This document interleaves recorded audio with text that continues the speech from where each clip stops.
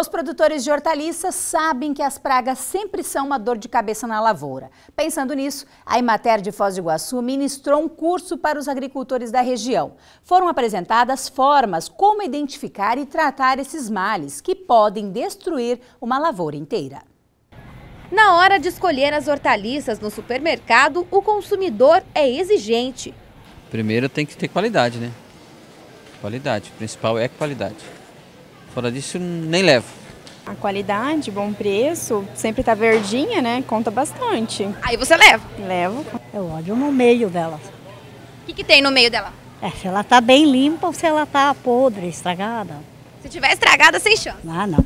Mas para atender às expectativas de quem compra, o produtor tem que estar atento às novidades e tecnologias de produção tudo para garantir um alimento de qualidade, sem agrotóxicos e que atenda às expectativas de quem consome.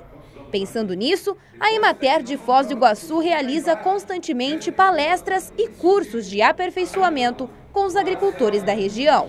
E hoje o produtor tem que cada vez mais é, produzir um produto é, dentro do possível isento de agrotóxico, né?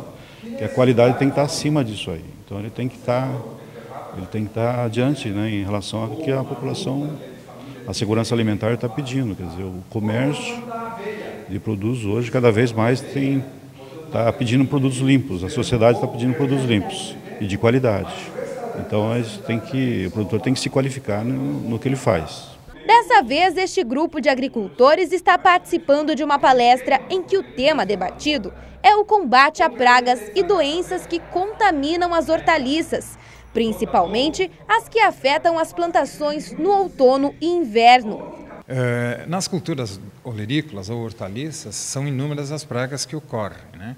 E dependendo da espécie, as pragas são é, diferentes. É, mas a praga chamada pulgão é uma das principais. Também temos diversas lagartas, também temos trips e algumas vaquinhas. Todas elas são importantes é, e que causam aí diversos danos. O pulgão é a praga que atinge quase todas as hortaliças no inverno. Ela começa atacando as folhas mais novas, sugando a seiva e enfraquece o vegetal. O produtor deve ficar atento, já que quando a praga se alastra, fica difícil conter o problema. Somente o inseticida pode resolver. E isso pesa no bolso do produtor. Josemar é produtor e anotou atentamente todas as orientações dos engenheiros agrônomos. Para ele, o agricultor tem que procurar melhorar a qualidade do cultivo para repassar ao consumidor produtos bons e de qualidade. Esse tipo de palestra é bom para auxiliar o uso correto dos agrotóxicos na explotação, aos critérios, os critérios que tem que ter para passar os produtos e também o tempo de carência dos produtos que ficam nas plantas e as doenças que estão atacando a nossa plantação, né?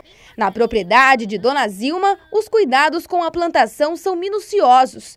Ela e o marido, seu Sebastião, cuidam para que as pragas não consumam o que é produzido. Todo dia a gente está tá olhando, né?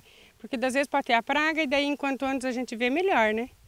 Então daí a gente tem que estar tá cuidando, tem que estar tá aguando, tem que estar tá sempre junto com elas, vendo ela crescer para ver o que, que pode acontecer, né?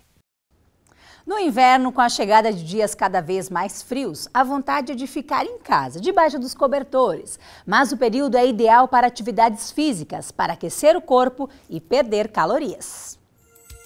Exercícios ao ar livre são bem-vindos no verão. Corridas e atividades físicas nas ruas são agradáveis no calor do sol.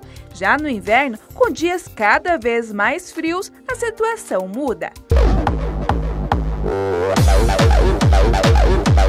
Você está com frio? Porque aqui, aonde eu estou, é o lugar certo para se esquentar, mesmo com poucas roupas, como vocês podem ver. E no final, ainda perder muitas calorias. Quem não prefere fazer exercícios abrigado do frio e com companhia para animar as atividades? Há muitas opções como musculação, luta e jump. Nesta academia, outra aula que também está fazendo sucesso é o Aerofight a prática é tanto para homens quanto mulheres, mas de longe vemos que são elas que estão dominando o espaço que está se tornando pequeno. São socos, chutes, movimentos de luta. Pulos e até rebolado, acompanhados com música alta e diversificada. O esforço e máximo de movimentos é o que garante força e resistência e ainda perder em uma hora de aula até 800 calorias. Essa mulherada tem motivos para estar animada. Estão participando de um concurso onde são premiadas as que perderem mais peso.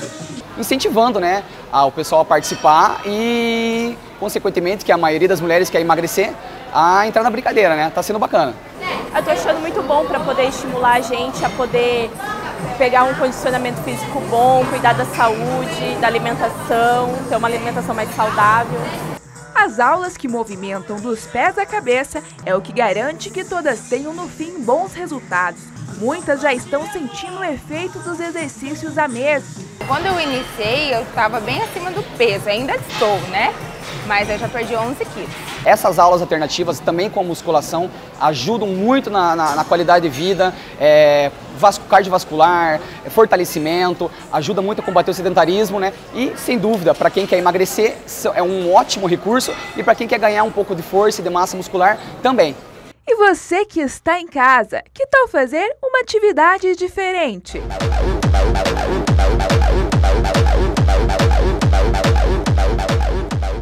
A seguir, estamos chegando com o quadro Sabores Oeste com uma torta prática e saborosa de legumes. É rapidinho, nós já voltamos.